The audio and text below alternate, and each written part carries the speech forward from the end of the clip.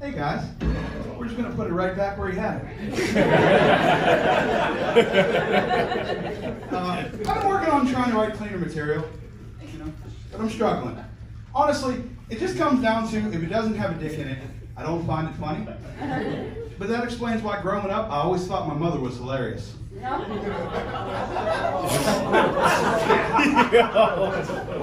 we'll, we'll, we'll address the elephant in the room. Uh, my mother was a hillbilly. My father was a carnival worker. Just means I don't know which side of the family I got my teeth from.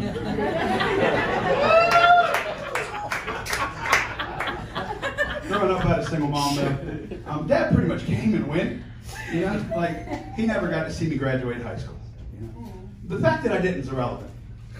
I, I just don't finish many things. You know, I didn't finish high school, got a GED, uh, didn't finish college, but that's why my wife was the perfect match for me. Because when we would have sex, she would never finish.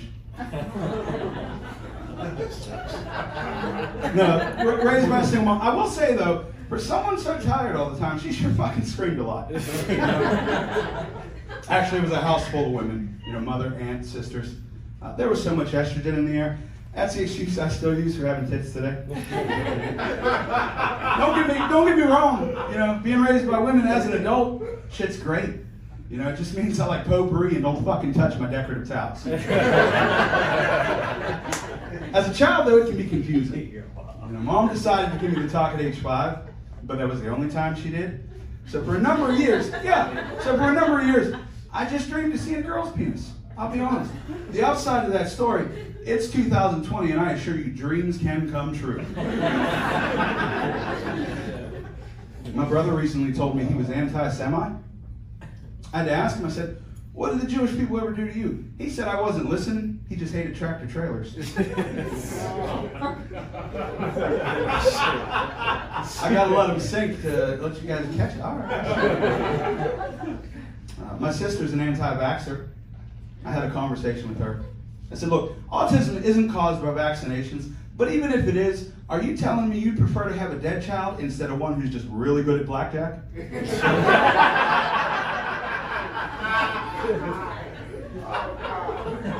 I'm from Pittsburgh, and uh, I came up here today, and boy, oh boy, you have some fucking homeless people out here. Uh, it is like a bad video game. Like this guy wants change. This guy wants a cigarette. You get to the boss, he wants change and a cigarette. no one told me, no one warned me it was a bonus level, too.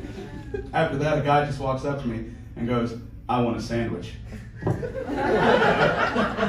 shit, hashtag me too. Apparently, I'm the type of guy just looks like I carry around extra sandwiches. Like he's been asking me, I got ham and cheese, I got you. Furthermore, it's a rough economy. I can't afford to be giving away my traveling sandwiches. Guys, I don't understand coffee fully. Like, not all parts of it. Like, decaf doesn't make any sense to me. I just felt like, why would you buy something that's already broken? Like, decaf, decaf is about as effective as the DARE program was in school. Decaf reminds me of a guy with no fingers. Pointless. I was I was in Erie and I was telling this joke, and believe it or not, the lady I pointed at, she lifted up her hand and said, "I love decaf," and all she had was a thumb. It was crazy. Yeah, I didn't know how to react. I spoke with her after the show. She has an amazing personality, which is great because she gives a real shitty hand job.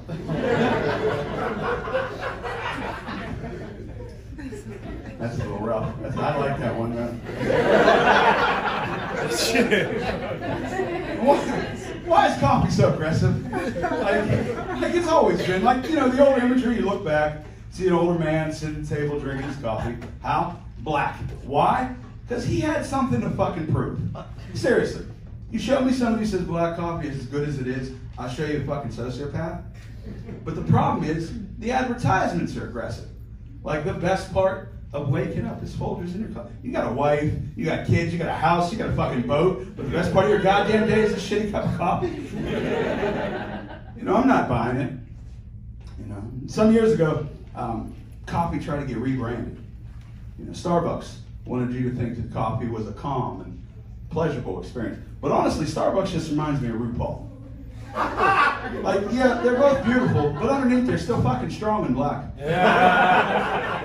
And things are gonna get intense if either one of them are inside of you. Gavin Johnny Smith, guys, thank you very much. I love you.